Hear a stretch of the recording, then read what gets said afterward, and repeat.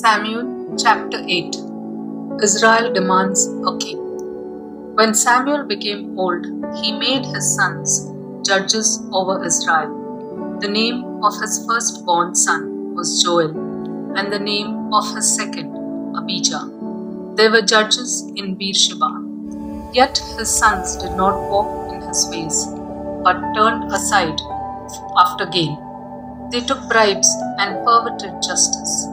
Then all the elders of Israel gathered together and came to Samuel at Ramah and said to him, Behold, you are old, and your sons do not walk in your ways. Now appoint for us a king to govern us like all the nations. But the thing displeased Samuel when they said, Give us a king to govern us. And Samuel prayed to the Lord. And the Lord said to Samuel, Hearken to their voice of the people in all that they say to you. For they have not rejected you, but they have rejected me from being king over them, according to all the deeds which they have done to me from the day I brought them up out of Egypt, even to this day, forsaking me and serving other gods. So they are also doing to you. Now then, hearken to their voice only.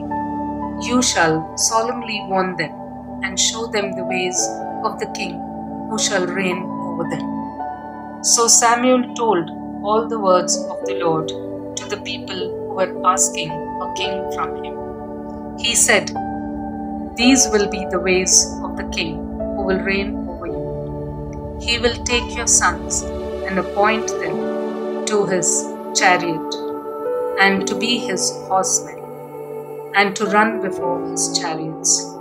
And he will appoint for himself commanders of thousands and commanders of fifty, and some to plough his ground and to reap his harvest and to make his implements of war and the and the equipments of his chariots. He will take your daughters to be perfumers and cooks and bakers. He will take the best of your fields and vineyards and olive orchards and give them to his servants. He will take the tenth of your grain and of your vineyards and give it to his officers and to his servants. He will take your men servants and maid servants and the best of your cattle and your asses and put them to his work. He will take the tenth of your flocks and you shall be his slaves. And in that day you will cry out because of your king, whom you have chosen for yourselves. But the Lord will not answer you in that day. Israel's request for a king granted. But the people refused to listen to the voice of Samuel, and they said, No, but we will have a king over us, that we also may be like all the nations, and that our king may govern us and go out before us and fight our battles. And when Samuel had heard all the words of the people, he repeated them in the ears of the Lord. And the Lord said to Samuel, Hearken to their voice, and make them a king. Samuel then said to the men of Israel, Go every man to his city. Samuel chapter 9 Saul chosen to be king. There was a man of Benjamin whose name was Kish, the son of Abiel, son of Zeror, son of Becorath, son of Aphiah, a Benjaminite, a man of wealth. And he had a son whose name was Saul, a handsome young man. There was not a man among the people of Israel more handsome than he. From his shoulders upward, he was taller than any of the people. Now the asses of Kish Saul's father, were lost. So Kish said to Saul, his son, Take one of the servants with you and arise, go and look for the asses. And they passed through the hill country of Ephraim and passed through the land of Shalishah. But they did not find them. And they passed through the land of Shaalim, but they were not there. Then they passed through the land of Benjamin, but did not find them. When they came to the land of Zuph, Saul said to his servant, who was with him, Come, let us go back, lest my father cease to care about the asses and become anxious about us. But he said to him, Behold, there is a man of God in this city, and he is a man that is held in honor. All that he says comes true. Let us go there. Perhaps he can tell us about the journey on which we have to set. Then Saul said to his servant, But if we go, what can we bring to the man? For the bread in our sack is gone, and there is no present to bring to the man of God. What have we? The servant answered Saul again, Here I have with me the fourth part of a shekel of silver, and I will give it to the man of God to tell us our way. Formerly in Israel, when a man went to inquire of God, he said, Come, let us go to the seer. For he who is now called a prophet was formerly called a seer. And Saul said to his servant, Well said, come, let us go. So they went to the city where the man of God was. As they went up the hill to the city, they met young maidens coming out to draw water, and said to them, Is the seer here? They answered, He is. Behold, he is just ahead of you. Make haste, he has come just now to the city because the people have a sacrifice today on the high place. As soon as you enter the city, you will find him before he goes up to the high place to eat. For the people will not eat till he comes, since he must bless the sacrifice. Afterward, those eat who are invited. Now go up, for you will meet him immediately. So they went up to the city. As they were entering the city, they saw Samuel coming out towards them on his way up to the high place. Now, the day before Saul came, the Lord had revealed to Samuel, Tomorrow, about this time, I will send you a man from the land of Benjamin, and you shall anoint him to be prince over my people Israel. He shall save my people from the hand of Philistines. For I have seen the affliction of my people, because their cry has come to me. When Samuel saw Saul, the Lord told him, Here is the man of whom I spoke. He it is who shall rule over my people. Then Saul approached Samuel in the gate and said, Tell me, where is the house of the seer? Samuel answered Saul, I am the seer. Go up before me to the high place, for today you shall eat with me. And in the morning I will let you go and will tell you all that is on your mind. As for your asses that were lost three days ago, do not set your mind on them, for they have been found and for whom is all that is desirable in Israel? Is it not for you and for all your father's house? Saul answered, Am I not a Benjaminite, from the least of the tribes of Israel? And is not my family the humblest of all the families of the tribe of Benjamin? Why then have you spoken to me in this way. Then Samuel took Saul and his servant and brought them into the hall and gave them a place at the head of those who had been invited, who were about thirty persons.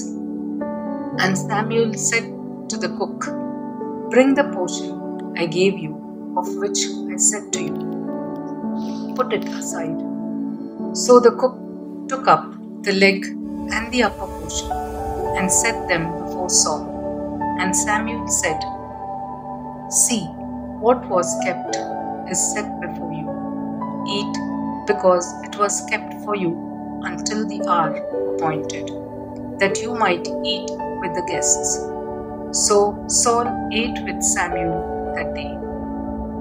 And when they came down from the high place into the city, a bed spread for Saul upon the roof, and he lay down to sleep. Then at, at the break of dawn, Samuel called to Saul upon the roof, Up, that I may send you on your way. So Saul arose, and both he and Samuel went out to the street. Samuel anoints Saul. As they were going down to the outskirts of the city, Samuel said to Saul, Tell the servant to pass on before us and when he has passed on, stop here yourself for a while, that I may make known to you the word of God. Samuel chapter 10 Then Samuel took a vial of oil and poured it on his head and kissed him and said, Has not the Lord anointed you to be prince over his people Israel? And you shall reign over the people of the Lord and you will save them from the hand of their enemies round about. And this shall be the sign to you that the Lord has anointed you to be prince over his heritage.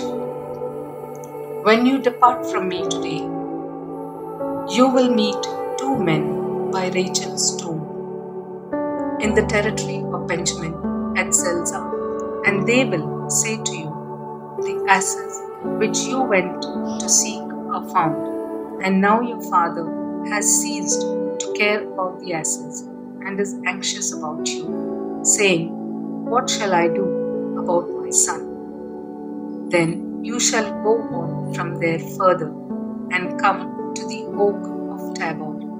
Three men going up to God at Bethel will meet you there. One carrying three kids, another carrying three loaves of bread, and another carrying a skin of wine. And they will greet you and give you two loaves of bread, which you shall accept from their hand. After that, you shall come to Gibeath Elohim, where there is a garrison of Philistines. And there, as you come to the city, you will meet a band of prophets coming down from the high place with harp, tambourine, flute, and lyre before them, prophesying. Then the Spirit of the Lord will come mightily upon you, and you shall prophesy with them and be turned into another man. Now, when these signs meet you, do whatever, whatever your hand finds to do, for God is with you and you shall go down before me to Gilgal. And behold, I am coming to you to offer burnt offerings and to sacrifice peace offerings. Seven days you shall wait until I come to you and show you what you shall do. Saul prophesies. When he turned his back to leave Samuel, God gave him another heart and all these signs came to pass that day. When they came to Gibeah, behold, a band of prophets met him, and the Spirit of God came mightily upon him, and he prophesied among them. And when all who knew him before saw how he prophesied with the prophets, the people said to one another, What has come over the son of Kish?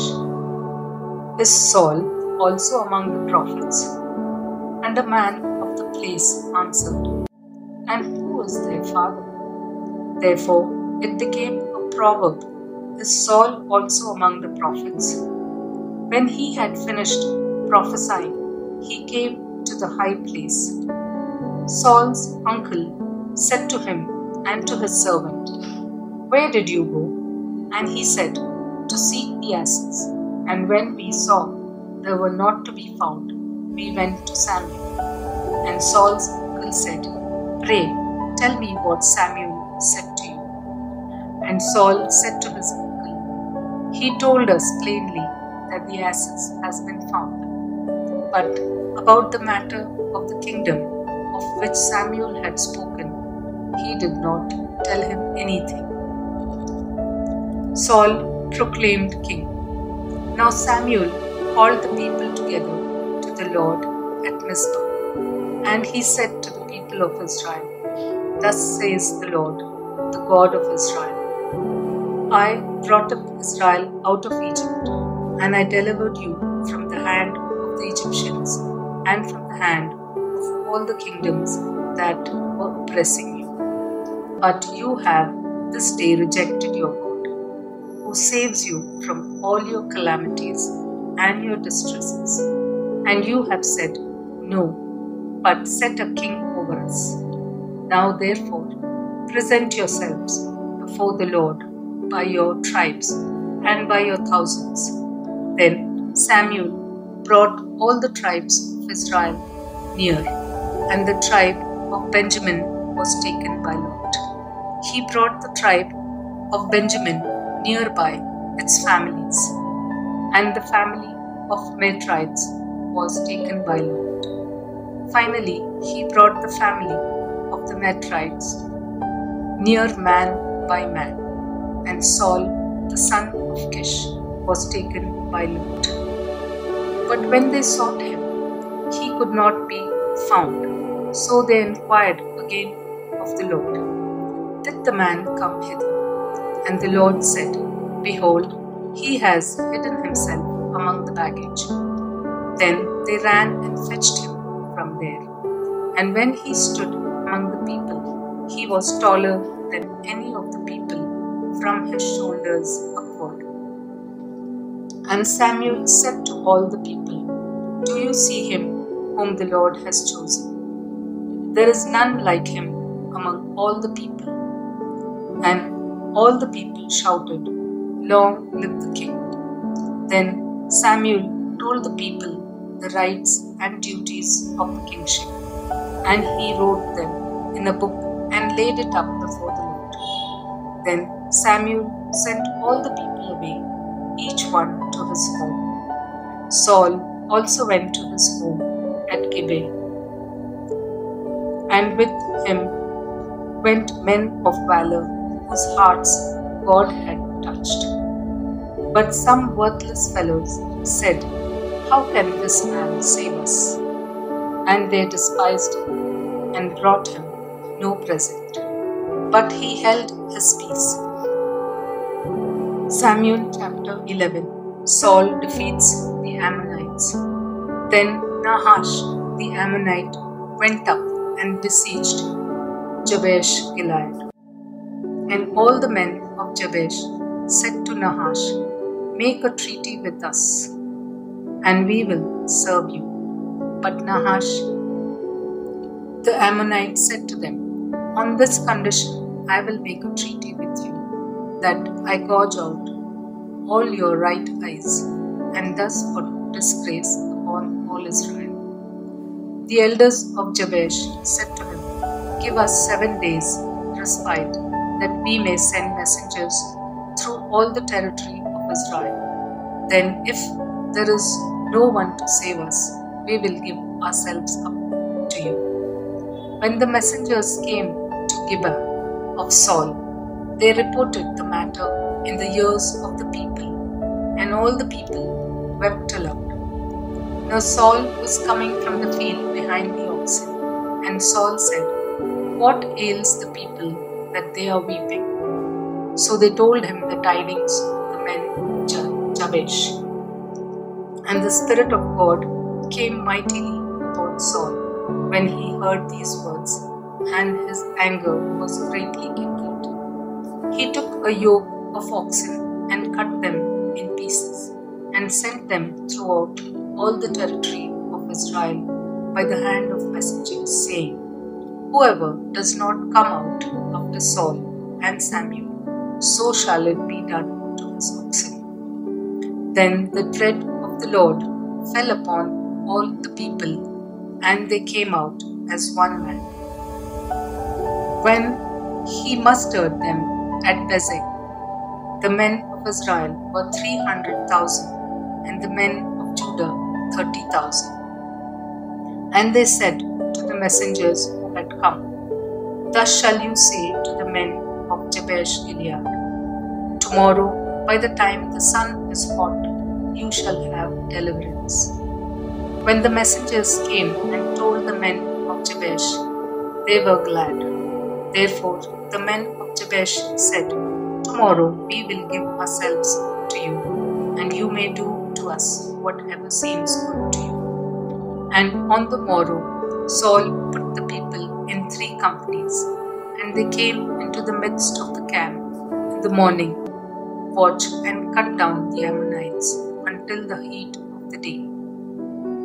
And those who survived were scattered, so that no two of them were left together. Then the people said to Samuel, Who is it that said, Shall Saul reign over us? Bring the men, and we may put them to death.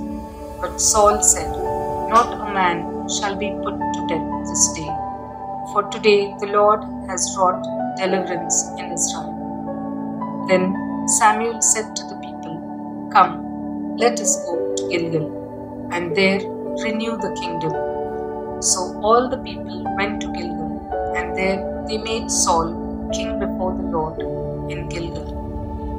There they sacrificed peace offerings before the Lord, and there Saul and all the men of Israel rejoiced greatly.